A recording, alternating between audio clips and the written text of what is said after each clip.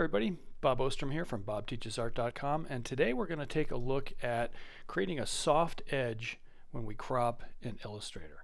And so you might be thinking like, well, you know, am I really going to need this? I can do that in Photoshop, but every once in a while you're going to actually need to work with vector and it's going to be important to know how to get exactly what you want. I ran into this earlier this week when I was working with a client, and I couldn't for the life of me remember how to do this. So I called up my old buddy Jesse, and he said, "Hey, here's how it works." So I'm going to teach you guys how to do it, and hopefully, if you run into the same situation, it'll be nice and easy for you too. So first thing that we want to do is we're going to create a new layer up top.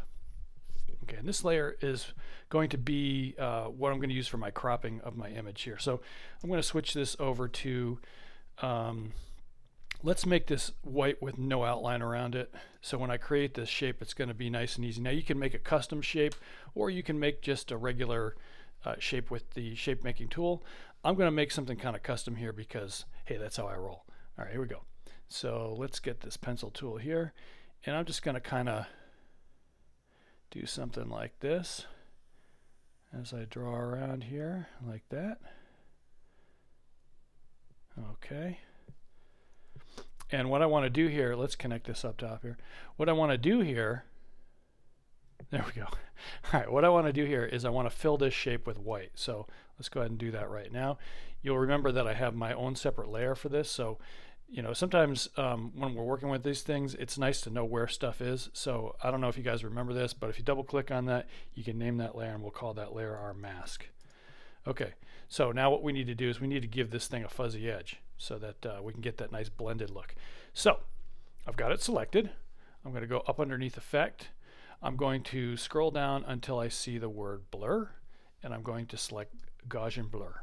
All right, here we go. And so uh, without this preview button clicked, we don't know what we're getting. So let's take a look. There we go. And I feel like that edge could be just a little bit softer, so I'm going to push this over to the right a little bit.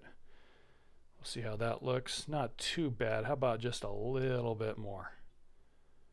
This is a big image, so it's gonna it's slowing down my computer just a little bit. Okay, so this looks pretty good. I like what we've got going on here. So here's what I'm going to do next. Um, I don't need this layer down here, so let's just get rid of this thing. Now, the next thing that I want to do here is I'm going to go ahead and go underneath my window. I'm going to scroll down until I see the word transparency. I need this panel in order to do what I need to do, so I'm going to go ahead and click on that. There's my transparency panel. Now, here comes the fun part. We're going to go ahead and select everything. All the art on all the layers needs to be selected in order for this to happen. We also need to make sure that the mask is on top. Okay, if the mask is down here underneath, it's not going to work. Uh, whatever's above the mask will not be masked. Everything below the mask is going to be affected by this. So what I'm going to do next is I'm going to hit Command A. If you're working on a PC, you can do Control. Uh, Control A, same thing. So with my transparency panel here, you're going to notice that if we look at the upper right hand corner, there's a little drop down menu. I'm going to go ahead and click on that and I want to make an opacity mask. And the reason that I want to make the opacity mask is because if I don't, it's not going to see that soft edge. Okay, so if I were to hit like Control 7 or whatever, Command 7, that would give me a, um, a, a, hard edge, right? So it would look at the outside line there and, and it would crop to that line.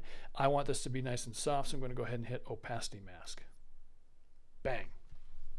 We're going to deselect. So there you go, guys. That's how you create a soft edge crop in Illustrator. All right, if you like what you see here, come join me over at bobteachesart.com for a whole lot more of these.